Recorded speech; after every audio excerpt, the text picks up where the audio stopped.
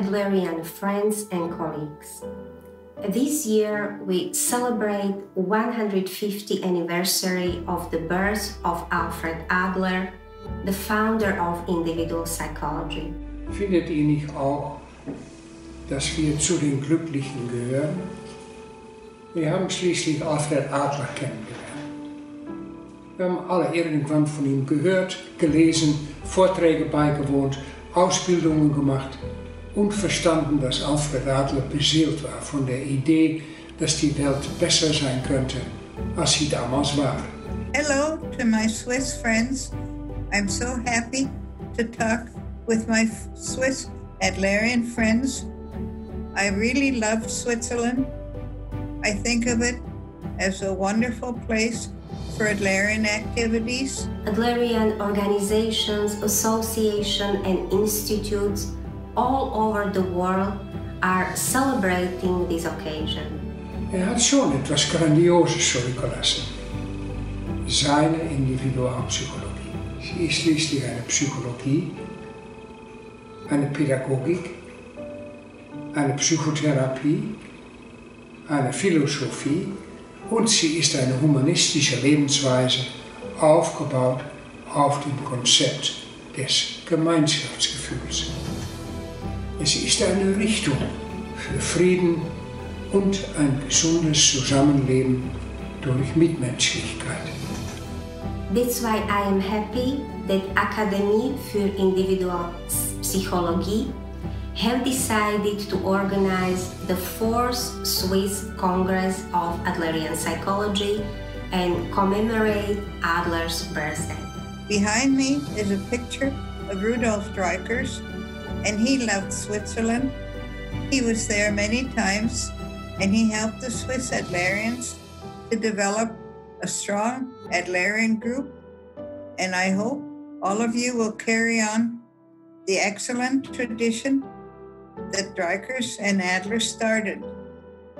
And we're ce- celebrating Adler's birthday. It's a wonderful thing to do. And we should all be grateful that Adler lived. It turns out that when I was a little girl, I did meet him, but I have no memory of it because babies are not impressed by famous people and I was only a baby when I met him. Ich erinnere an den Moment 1916, wo Adler im Café Central in Wien sich wieder traf mit seinen Studentenstrich-Anhängern. Er kam aus dem Krieg, der noch voll aufwütete, mit Chaos, Flüchtlinge, Leiden. Er hatte gesehen, wie Menschen unmenschlich behandelt wurden und Mitmenschen zu Feinden gemacht wurden. Er hatte Machtmissbrauch und Ungerechtigkeit gesehen und er hat seine eigene Hilflosigkeit erlebt. Und dann mitten in den Krieg kommt er wieder mit den Seinigen in Café Central zusammen und sagt, meiner Meinung nach ist Gemeinschaftsgefühl das Einzige, was die Welt im Moment braucht. Die Anwesenden waren gebildete Menschen. Die Crème de la Crème der Gelehrten in Wien, Journalisten, Lehrer, Philosophen, Schriftsteller, Wissenschaftler. Und es gab eine heftige Diskussion über diesen fast religiösen Begriff Gemeinschaftsgefühl. Alfred Adler was a visionary.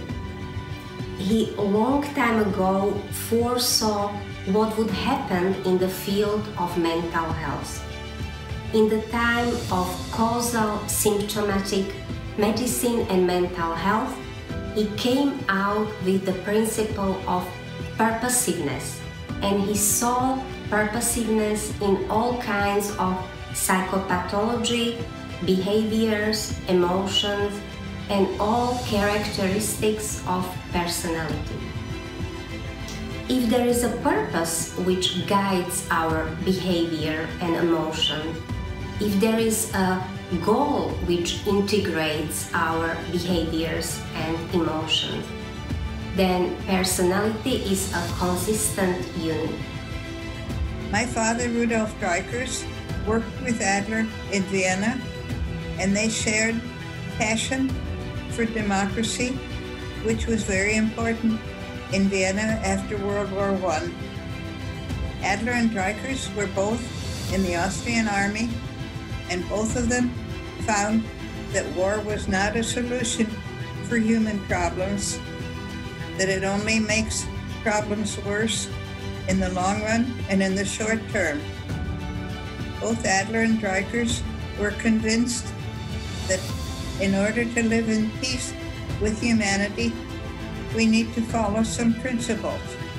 And everybody who has had Adlerian training knows what some of those principles are.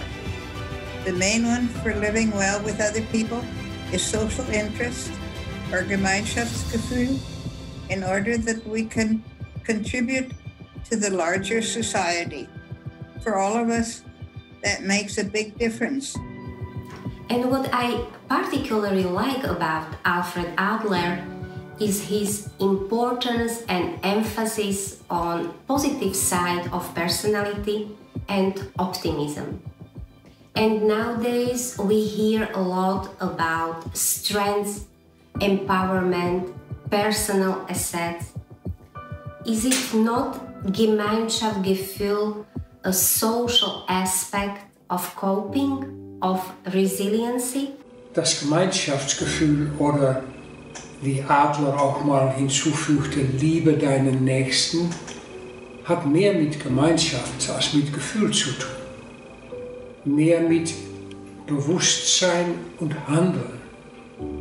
Mit dem Bewusstsein, dass wir Menschen alle zusammen eine organische Einheit bilden und dass verschiedene Hautfarben, Religionen, Neigungen, Veranlagungen, Meinungen, Aspekte dieser Einheit sind und dass die Gesundheit des Ganzen von der Gesundheit der Einzelnen abhängt.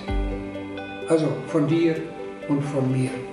Praktisch geht es um Dienst am Mitmenschen, um die Notwendigkeit an den anderen zu denken, auf den anderen zu achten und sich für ihn und seine Belange zu interessieren und ihm womöglich zu helfen. Es ist klar, in dieser Zeit mit seinen Kriegen und Flüchtlingen, mit seinem Machtmissbrauch und seiner Ungerechtigkeit, dass wir eine mächtige Entwicklung von Gemeinschaftsgefühl brauchen. If we really care for other people, that helps us care for ourselves. And we need to care for ourselves. If we're not encouraged and if we're not caring for ourselves, we truly have a harder time in coping with difficulties. We need to care for ourselves just as we care for others. And so a lot of emphasis is given to the fact that psychologists need to learn how to take care of themselves and the principle is the same as what Adler and Dreikurs were talking about, which is if you want to be an encourager to others, you must yourself be encouraged. If you're a discouraged person, it's much harder for you to encourage other people. So make sure that you feel encouraged. Work on helping yourself. Work on feeling adequate and feeling good about yourself. And that helps you because then you can encourage others as well. And so I'm encouraging you to look after yourself. That's part of social interest. Many people think it's not a part of social interest, but it really is because each of us is a member of a community. And if we're helping the community, we also have to help ourselves.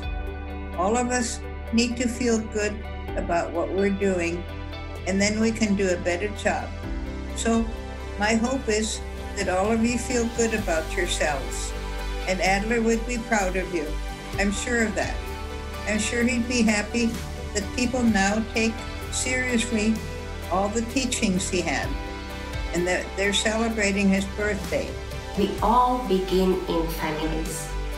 Let's uh, celebrate and appreciate our families of origin, the families we live in now, and the large international family of Adlerian individuals and organizations where we belong. Und mit Adler stehen wir immer mitten im Leben, in unserer Verantwortung für den respektvollen Umgang mit allen Menschen, mit den Tieren, mit der Natur und mit der Welt, mit der Erde. So I wish you all well. I wish all the Adlerians can succeed in their good work. And if Alfred is watching us, let's make him proud. On behalf of the International Association of Individual Psychology, I wish your Congress to be very successful. And let us all remember how lucky we are that Adler lived and that Dreikurs lived and that Erik Blumenthal lived and many of the Swiss Adlerians who helped create the wonderful Adlerian group in Switzerland.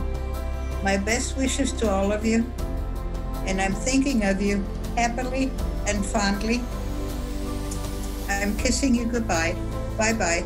Weltweit gedenken und feiern wir Alfred Adlers 150. Geburtsjahr. So auch in der Schweiz, anlässlich des Kongresses SCAP 2020 in Kloten. Ich gratuliere uns allen mit einem Gefühl der Verbundenheit und sende die besten Wünsche aus den Niederlanden.